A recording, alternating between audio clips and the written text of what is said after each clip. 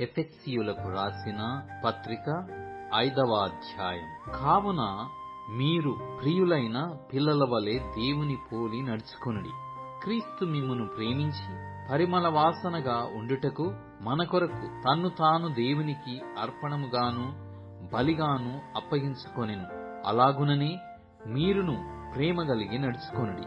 మీలో జారత్వమే గాని ఏ విధమైన అపవిత్రతయే గాని లోభత్వమే గాని వీటి పేరైనను ఎత్తకూడదు. ఇదే పరిశుద్ధులకు తగినది.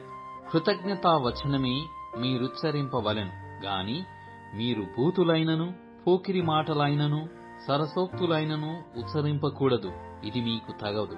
వ్యభిచారి అయినను అపవిత్రుడైనను విగ్రహారధికుడైనను ఉన్న లోబి అయినను క్రీస్తు యొక్కయు దేవుని యొక్కయు రాజ్యమునకు హక్కుదారుడు కాడను సంగతి మీకు నిశ్చయముగా తెలియను. వ్యర్థమైన మాటల వలన ఎవడును మిమ్మును మోసపరచనీయకుడి. ఎట్టి క్రియల వలన దేవుని ఉగ్రత అవిదేవులైన వారి మీదికి వచ్చును.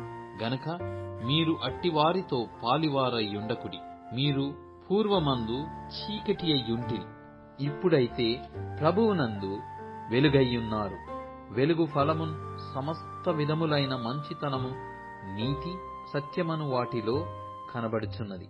గనుక ప్రభువుకేది ప్రీతికరమైనదో దానిని పరీక్షించుచు వెలుగు సంబంధుల వలె నడుచుకొనుడి.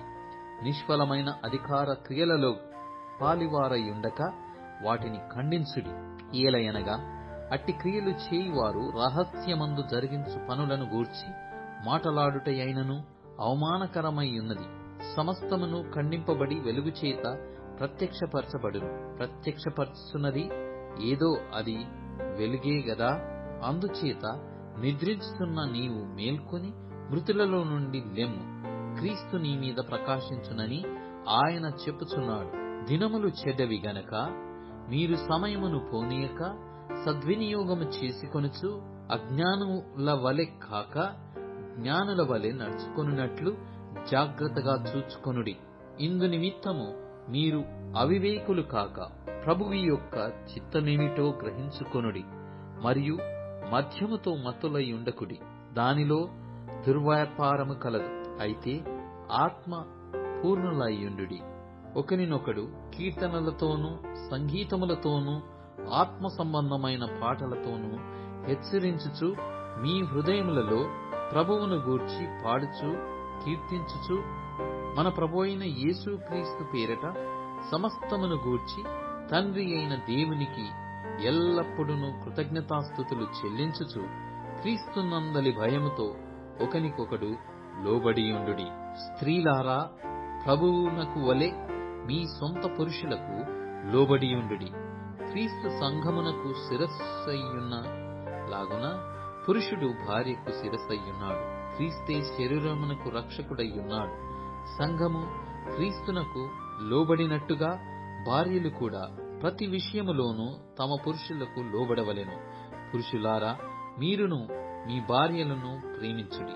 అటువలే క్రీస్తు కూడా సంఘమును ప్రేమించి అది కలంకమైనను మడతయైనను అట్టిది మరి ఏదైనను లేక పరిశుద్ధమైనదిగాను నిర్దోషమైనదిగాను మహిమగల సంఘముగాను ఆయన తన ఎదుట దానిని నిలబెట్టుకొనవలెనని వాక్యముతో ఉదక స్నానము చేత దానిని పవిత్రపరిచి పరిశుద్ధపరచుటకై దాని కొరకు తన్ను తాను అప్పగించుకొనెను.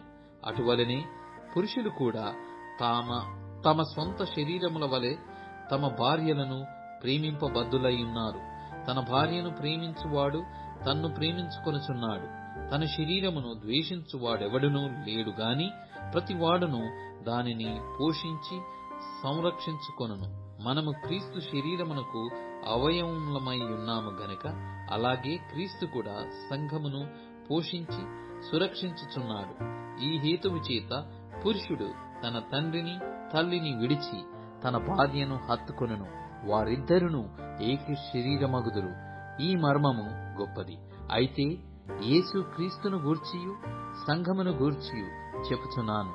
మెట్టుకు మీలో ప్రతి పురుషుడును తనను వలె తన భార్యను ప్రేమింపవలెను. భార్య అయితే తన భర్త ఎందు భయము కలిగి ఎండునట్లు చూచుకొనవలెను